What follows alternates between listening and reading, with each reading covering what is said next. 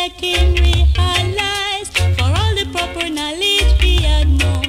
But he did not know what they called night food.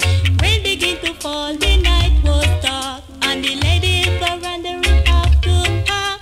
She come and say, why you stay outside? When there is warm and food inside, he wonder what they